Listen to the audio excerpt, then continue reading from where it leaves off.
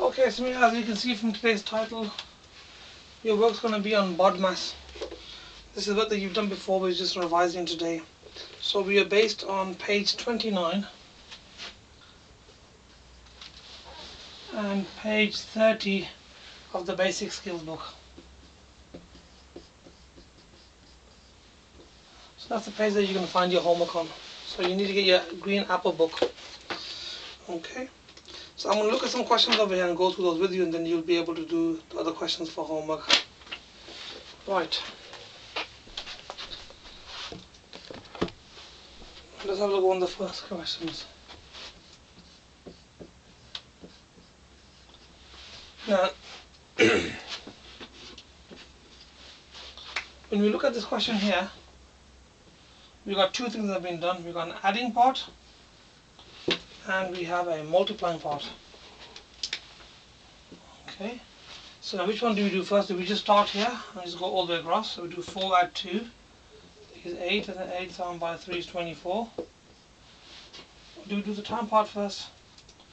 2 times by 3 is 6 and then you add the 4 that gives you 10. So there's two different ways of doing the question.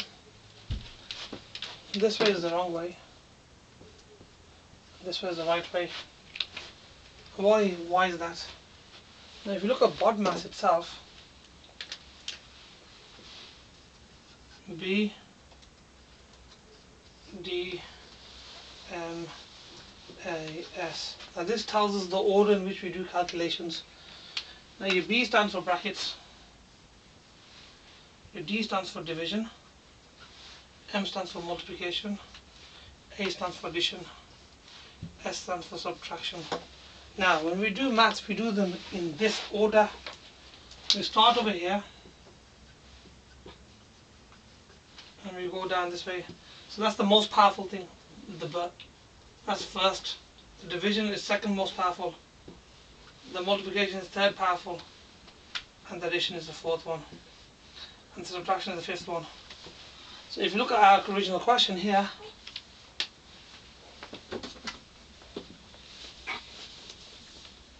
got multiplying and adding. Well, if you look over here, multiplying comes before adding. Multiplying is more powerful than adding. So we do this part first, the multiplying part. So let's have a look. So we do this part first because multiplying is more powerful than adding. So 2 times by 3 is 6. Copy the add 4 down. And then we do the add because adding comes after. So that gives you 10. And that's how I want you to set out your work, like this. So you've got to select which one you do first and second and so on. That's the first example. Second example is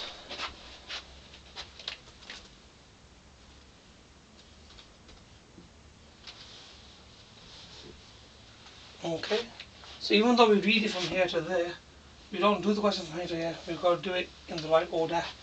So we've got a division and an adding. Well, if we've got BODMAS, brackets, division is more powerful than adding. Division is higher up, it's position number two. Adding is four, so that's more powerful. So we have to do the division first. So we do 12 divided by 3, that gives you 4. After you've done the division, the next thing for us to do is adding. So 6 added 4 is, so that one also gives an answer of 10.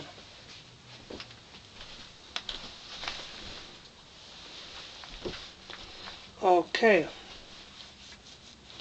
Let's have a look at an example with the brackets in it.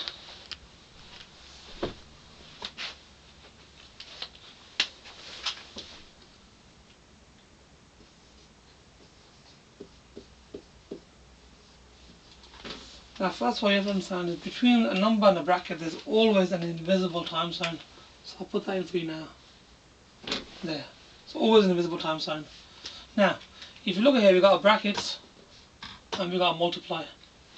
Well brackets is more powerful than multiply, so we do the brackets first.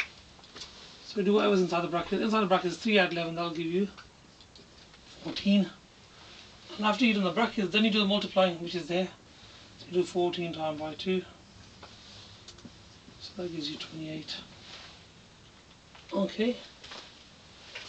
You should now be able to do the questions which I'm going to set you. Okay, the question numbers are going to be written in your red homework diary.